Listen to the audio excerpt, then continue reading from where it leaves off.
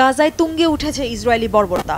উপত্যকার হাসপাতাল লক্ষ্য করে চলছে তেল আবিবের বিমান হামলা। আল শিফা হাসপাতালের মূল ফটক এবং এর আশেপাশে বোমা বর্ষণ করেছে আইডিএফ গাজা উপত্যকার সবচেয়ে বড় হাসপাতাল আল শিফা ঘিরে রেখেছে ইসরায়েলি বাহিনী।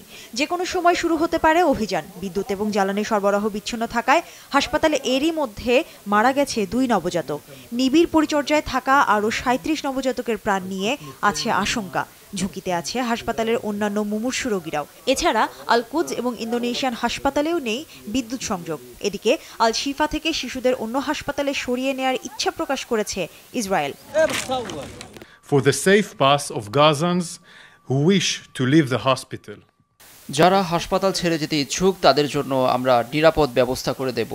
আমরা আল শিফা হাসপাতাল কর্তৃপক্ষের সঙ্গে সরাসরি এবং নিয়মিত যোগাযোগ করছি। আমরা শিশুদের জন্য একটি নিরাপদ হাসপাতালে যেতে সহায়তা করব।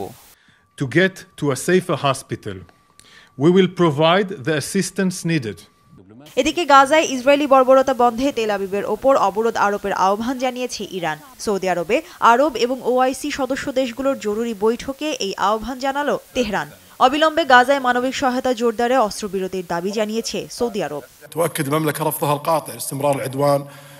আমরা একটি মানবিক বিপর্যয় প্রত্যক্ষ করছি যা আন্তর্জাতিক আইন ও নিয়মের স্পষ্ট লঙ্ঘন নিরাপত্তা পরিষদ এবং আন্তর্জাতিক সম্প্রদায় এই অন্যায় বন্ধে ব্যর্থ। শনিবার এক সংবাদ সম্মেলনে সৌদি পররাষ্ট্রমন্ত্রী ফয়সাল বিন ফারহান সাফ জানান গাজা নিয়ে একটি ইস্যুতেই আলোচনা হতে পারে আর তা হল অবিলম্বে যুদ্ধ বন্ধ।